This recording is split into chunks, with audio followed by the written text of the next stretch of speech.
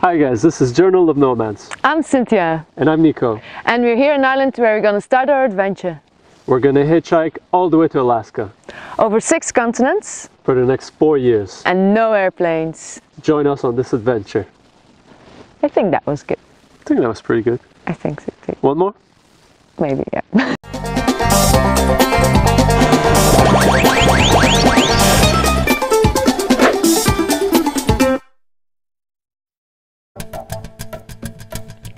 Our adventure starts in Ireland, in a little village called Sneem, where we spend the past nine months preparing for our project.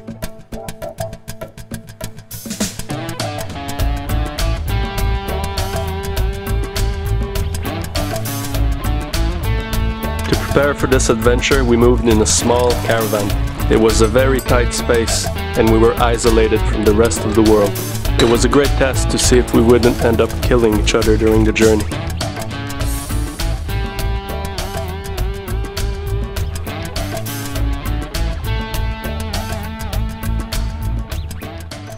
I'm on my way to my work. It's about half an hour walk from where I live. Uphill, downhill, but a beautiful walk in between the trees. To earn money for the trip, I worked in Park Silla, a beautiful hotel near the sea. I worked there as a waitress, serving coffee and food during breakfast and lunch.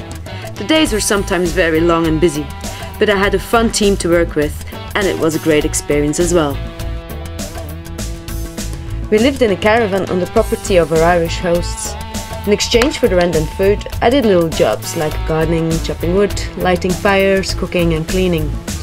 So it was a very busy year of work and preparation, and even though I love Ireland, I can't wait to be on the road again.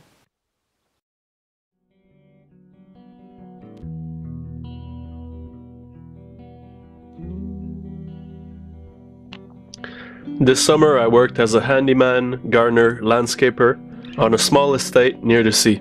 It was lots of hard work, moving rocks, digging weeds, but there was also plenty of cool activities in between.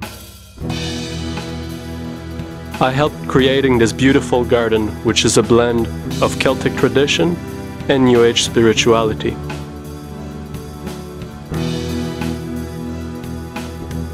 And even though we worked very hard, there was time to have fun as well. Alors, c'est une super belle journée aujourd'hui en Irlande. Puis euh, aujourd'hui, on s'en va faire du kayak de mer avec des kayaks motorisés. One of our aims is to find local people and local businesses around the world who offer quality activities and beautiful locations, like here with the kayaking. Throughout our journey, we'll show you how you can have the coolest adventures on the smallest budget. It's awesome. It's amazing. We're out here in the middle of the ocean, and it's just gorgeous. Super beautiful. Yeah, look at the color of the water. Wow. There's sun setting behind us.